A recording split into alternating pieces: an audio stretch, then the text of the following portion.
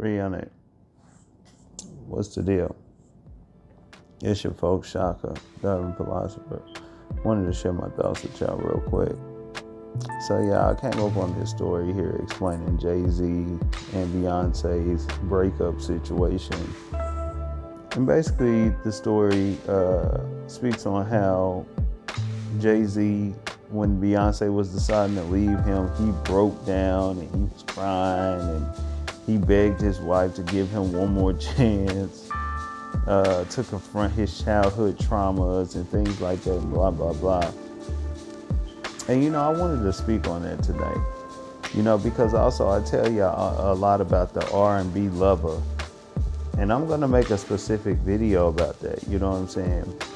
Because the R&B R&B lover is uh, a couple of unhealthy things couple unhealthy uh, examples for men. But one of the things that the R&B lover does is he uh, oftentimes is emasculating himself to get back in favor of the woman. And that's exactly what Jay-Z is doing here. You know, brothers, never emasculate yourself to get back with the woman. She does not respect that. If you mess up and you want to get back right with your woman, you need to go about it in a masculine way. You need to be a man about it, okay? But never emasculate yourself. And when you get to the point where you're begging a woman and you're uh, uh, doing the woman's version of Biggie, give me one more chance. I promise I'm going to do this and I'm going to do that. You're setting yourself up for failure and you're setting that woman up for failure and whatever situation y'all have, you're setting it up for failure. You know, the truth of the matter is, you gotta be the type of person that understands when to kind of cut ties, whether permanently or temporarily, whether she messes up or you mess up. You know, because sometimes the woman will still be willing and ready to make it happen. But as a man, you got to understand what you can and you cannot do in that situation and why it triggered you to do what you did in the first place. And oftentimes you cannot do that being back with the woman, you know what I'm saying, after you violate in such a way.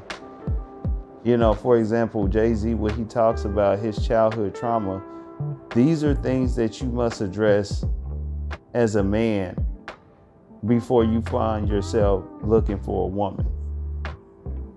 You understand that? You don't you don't work on these things while you're with a woman and things like that. And when you get back with the woman, she has to monitor you like she's your mother, okay? Because that's heavily promoted, y'all, in our community, that mother-child relationship. Okay? It is one of the number one destroyers of so-called relationships between black men and black women. But that's what pretty much happens. All right. And so, and then on top of that, because you emasculated yourself by begging the woman and pleading with the woman, she's not going to respect you as a man. And why? Because you didn't go about it as a man. All right. You know, again, if you mess up with a woman, you know what I'm saying? And ultimately she gets rid of you, that's typically what happens. But even if that don't happen, you need to, okay, make the right decision on how you go about getting back right with that woman, okay?